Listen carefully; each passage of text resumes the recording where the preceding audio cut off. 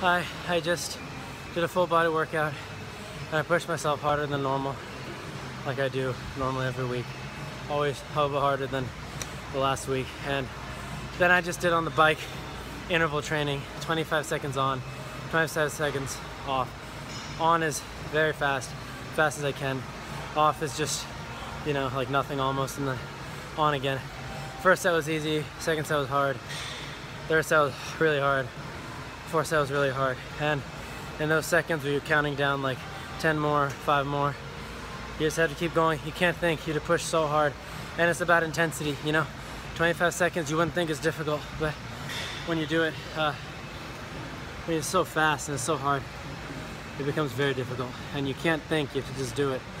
Uh, if people push themselves that hard, everything changes. The issue is, with a lot of things, there's just a lot of mental constraint with everything. Always things holding you back from saying what you want to say, doing what you want to do, pushing as hard within a certain exercise as you'd like to. And it leads to a lot of lack of success, unhappiness, and moments like this, when you can't think, you're forced not to think because the moment calls out of you, that's when you really push and really grow into levels beyond where you were before. Personally, with regard to the result, and in everything. So this is one of the great many things, benefits I see about doing fitness and doing fitness really well. It's so helpful from the standpoint of human development, mental development, thank you, you too, development of every aspect of a person, I think, in some respect relies, relies upon their fitness. So with all that being said, it was a good workout. I'll be doing it again. I'll be doing it harder next time. And th these are the foundations upon which greatness are built. I mean, it's no secret from my videos. I'm a big fan of Federer. I respect Nadal a lot also for his work ethic and what he does on the court.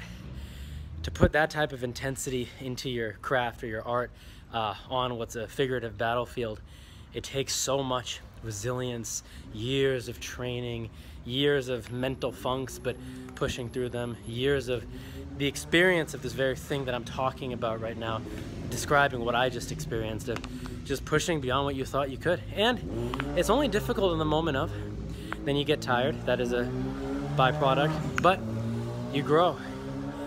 And at this point, I feel good. Where's the hard work? Where's the hard work now? Where's where where where's the where's the struggle? There's no struggle now. I just have the results now. I have the benefit now. The hard work is in the past. And now life becomes easier. I'm able to do things easier. I can think for more long. I know how to focus more intensely. I know how distracted my mind often gets because when I had to put it away for the sprinting on the bike, it was difficult. That's the benefit of all the cardio. So that's what I have to say for now. And um, I'll be back at it again after I've rested, eaten, relaxed maybe in a day, maybe in two days. But, you know, everything good is a lifestyle. It's never a one-time thing. But, of course, it always happens one step at a time. At the moment of, it is a one-time thing. So that's what I have to say for today.